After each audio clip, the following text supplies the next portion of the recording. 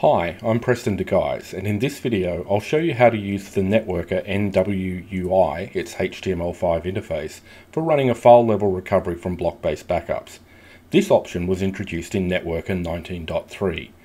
I'll be running the recovery from a browser on the client that was backed up.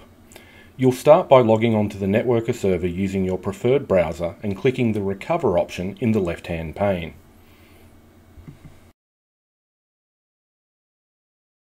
Start by choosing the client type, in this case, traditional.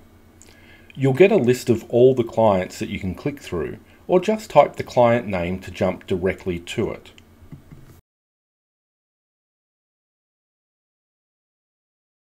NetWorker refreshes the backup and clone section with a list of eligible save sets based on the filter time. I've changed the time to the last three days and added the save set name to the view so that I can find my eDrive backup. Once I've selected the backup, I can start by clicking the Recovery drop-down and choosing the appropriate option. I can browse block-based backups for file-level recoveries by clicking the Mount button.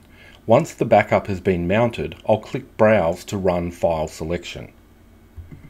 In this browser, I can see a view of the file system as of the backup.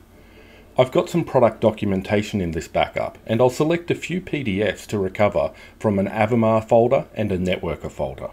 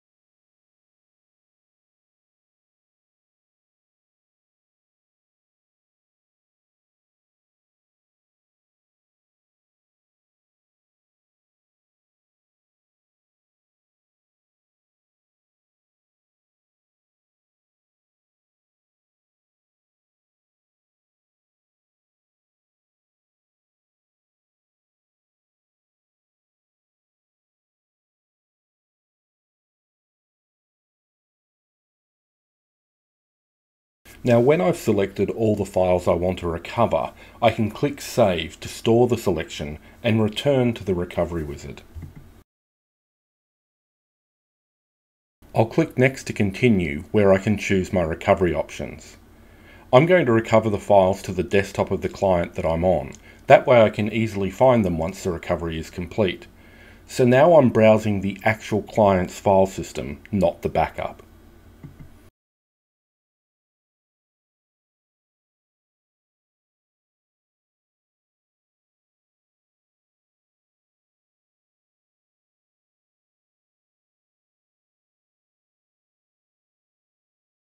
My recovery is pretty much configured now, so I'll click Next to continue.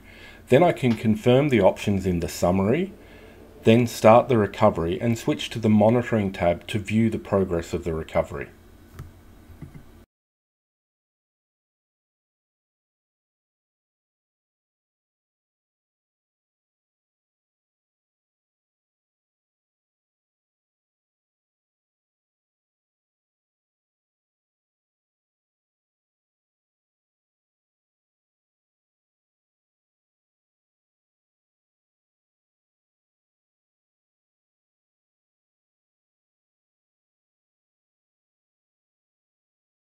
When the recovery completes, I'll show you the messages from the recovery, including getting the full message log. Then I'll drop back to the desktop and browse the recovered files.